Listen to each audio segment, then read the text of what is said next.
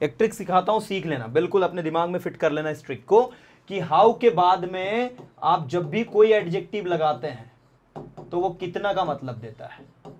बहुत प्यारी ट्रिक है, ध्यान दीजिएगा। हाउ के बाद में जब भी कोई आप एडजेक्टिव लगाते हैं तो याद रखना वो कितने का मतलब देता है। जैसे मैंने कहा, कितना लंबा तो बोले हाउ लॉन्ग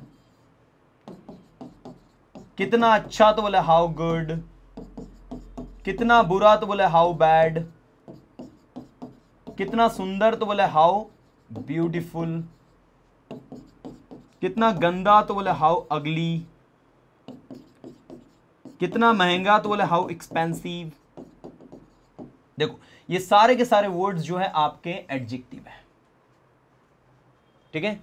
कितनी दूर तो बोले हाउ फार बोल सकते हैं बिल्कुल। कितना हल्का तो बोले हाउ लाइट कितना भारी हाउ हैवी